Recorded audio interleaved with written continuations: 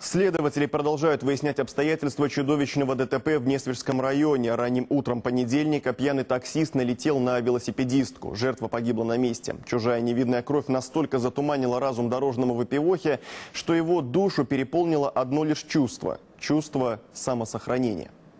Водитель погрузил бездыханное тело в багажник, вывез в поле и бросил там автомобиль вместе с погибшей. В распоряжение нашей программы попали эксклюзивные кадры с места происшествия. Их изучил Владимир Королев.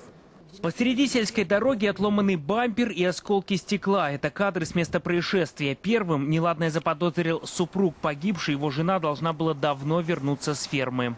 Около 7 утра в дежурную часть Нижского РУВД обратился местный житель с заявлением о безвестном исчезновении своей супруги.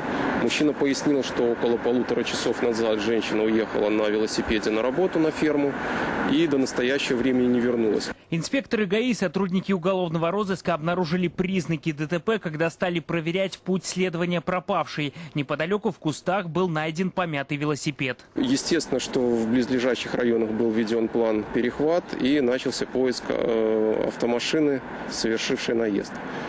Были найдены свидетели, которые пояснили, что предположительно это была машина белого цвета с, э, со знаками такси.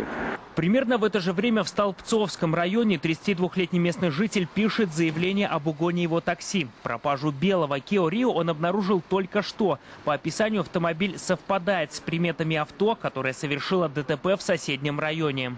Пробираясь сквозь помятую кукурузу, оперативники находят белоснежный Rio. Машину нашли в 40 километрах от места происшествия. Предположительно, водитель не справился с управлением и съехал с дороги. В салоне тело 49-летней велосипедистки. По разбитому лобовому стеклу несложно догадаться, насколько сильным был удар. Шансов выжить у нее не было. Позже водитель такси признается, он виновник ДТП. Велосипедистку сбил случайно, в той поездке изрядно был пьян. Следственным комитетом уже возбуждено уголовное дело. Решается вопрос о заключении подозреваемого под стражу. Владимир Королев, Юрий Сахадзе, Александр Шестакович, Зона X, Несвежский район.